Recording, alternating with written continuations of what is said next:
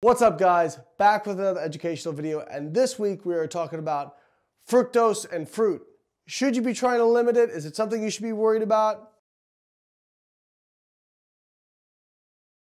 This comes up because of an Instagram post by Dr. Steven Lin, who is a dentist. This isn't a what the fitness. This is just inspiration for education because I see this concern a lot. And it's very important to address the concerns around fruit and fructose because I find people really get confused with this stuff. First off, I'm gonna read the Instagram post from him, which is actually, a, I think it's a screenshot of his Twitter. It says, real talk, fruits aren't that healthy. Fructose, the sugar found in fruit, acts like a slow poison in the body, like alcohol. In small doses, your liver can clear it. In excess, the liver spews out fat into the bloodstream like in alcoholics.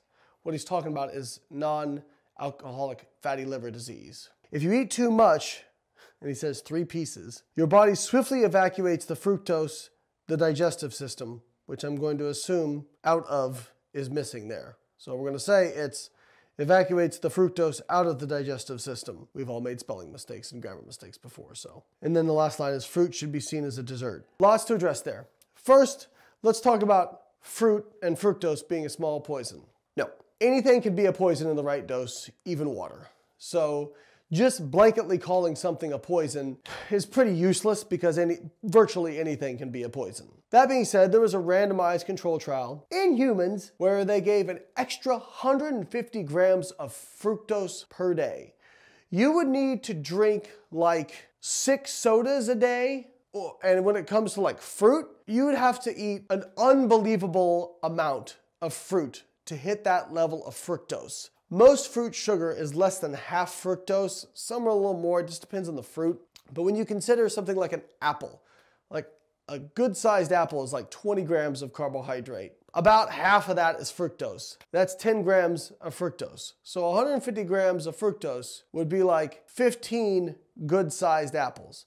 I mean, I guess maybe there's people out there who eat 15 apples a day or 15 pieces of fruit in a day, but it's probably not that many. And even then, in this study, they showed no negative effects from the fructose because overall calories stayed the same. Again, if fructose was really that bad, where is this fat being spewed out from the liver? So the idea that your liver can only clear small doses is incorrect. And this idea that fructose is going to give you non-alcoholic fatty liver disease, this stems from mechanistic data demonstrating that fructose can increase de novo lipogenesis, which if you start making like large leaps, you could say, well, more de novo lipogenesis in the liver is gonna cause fatty liver, and that's gonna cause fatty liver disease. So it's always important to stop, breathe, and not get really hung up on mechanistic stuff because you can always find a mechanism that will support whatever it is you want to believe. I did this as a young biochemist. I have a bachelor's in biochemistry, and I used to get really hung up on mechanisms. What should matter is the actual question. Does fruit increase liver fat, and is fruit putting you at risk for non-alcoholic fatty liver disease in humans? we should ask, are there studies done on that? And the answer is yes. When we look at fructose and non-alcoholic fatty liver disease, what we do see is people who eat higher amounts of fructose have higher incidence of non-alcoholic fatty liver disease. Aha! Dr. Lin was right. Not really. In current Western culture, people who have high fructose intake, it's mostly from high fructose corn syrup, mostly from sugar sweetened beverages. If we look at people who eat fruit. They actually have lower incidence of fatty liver disease. I'll say that again. People who eat higher amounts of fruit have lower incidence of fatty liver disease. How could that be? They're eating fructose. Well, because fruit has all this other stuff in it. One, it has fiber, it has antioxidants. Plus, people don't really tend to overconsume fruit. We've covered this. Fruit actually tends to decrease calorie intake. People who have high intakes of fruit and vegetables tend to eat less total calories. They have less body fat and they have less liver fat because they're consuming less calories and being leaner. This idea that you eat a few pieces of fruit as an otherwise lean person and your liver is going to start spewing out fat is just completely erroneous and simply not true and not supported by the research data. Even going beyond fruit, people said, well, still, okay, fruit's fine because there's fiber and all this other stuff. It's just offsetting the negative effects of fructose. But fructose itself, the molecule, is still bad. In a meta-analysis where they looked at isocaloric substitutions of fructose with other carbohydrate, they saw no changes in the incidence of liver fat. This is a calorie effect. Too much energy is toxic. Too much energy is what causes increases in liver fat. If you are at energy maintenance or in an energy deficit, your body will clear out excess fat. I'm not saying you can't have increased liver fat through other mechanisms than just energy surplus. But people like Dr. Lin, and I don't know specifically if he falls into this category, but a lot of low carbohydrate advocates are also pro saturated fat.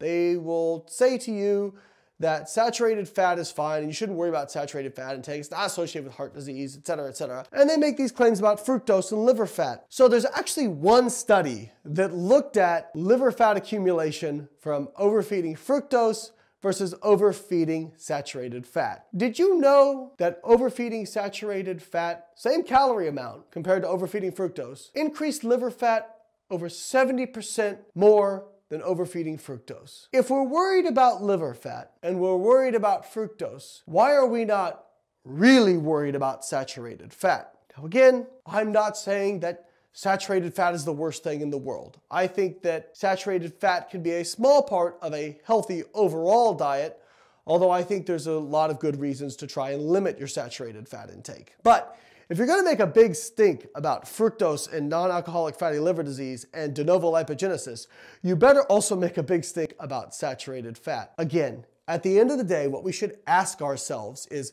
what do the human randomized control trials say, or what does the preponderance of the human data say? Not, hey, there's this mechanism that fructose it, it, activates these enzymes and that increases de novo lipogenesis and that means your liver is going to get fat. No, just look at fructose intake and look at liver fat accumulation. Easy. Or look at fruit intake more specifically since that's the claim being made. Look at fruit intake and look at liver fat accumulation specifically. And what do we see? Higher fruit intake actually is associated with people with less liver fat. So fruit is not causing fatty liver. It's not a dessert. Fruit is something that is part of a healthy diet and you should be trying to eat more of, for the most part. Now, there's also some people that will say things like, well, fructose can't be stored as muscle glycogen. So really, you know, if you're, if you're somebody who cares about performance, you should be trying to limit fructose because it, it, can't replenish muscle glycogen, only liver glycogen. This comes from the fact that your muscle is missing the enzyme to convert fructose into glycogen. It's not a one-step process, it's a multiple-step process, but it's missing a key enzyme. The liver has this enzyme, so it can convert fructose into glycogen in the liver. But again, this fails to take into account a holistic view of physiology. In studies where they look at giving something like sucrose versus glucose for glycogen replenishment, they really don't see a whole lot of difference. A big reason for that is even though fructose can only replenish liver glycogen, your liver can then liberate its own liver glycogen into the bloodstream and that glucose can be picked up by other tissues and used to replenish their own glycogen. So on the whole, it doesn't really seem to make a big difference. I guess maybe if you were only eating fructose as like your one carbohydrate source, maybe then it could be a problem. But again, when you eat even sucrose or even high fructose corn syrup, you're talking about the carbohydrate content being 55% fructose or 60% fructose at absolute most. So again, it's not something you really need to worry about because you're not eating fructose alone in isolation. And especially with regards to fruits, it's not gonna give you fatty liver. Fruit intake is consistently associated with better longevity, lower incidence of non-communicable disease, and definitely not associated with liver fat accumulation. Eat your fruit, don't worry, and don't get nutrition advice from a dentist. If you like the video, like the video, subscribe to the channel. Studies are in the description, as well as our fine nutrition and training products and services that can help you on your journey to your goals. Make sure to click some of them links, buy some of our stuff, and I'll catch you guys next week.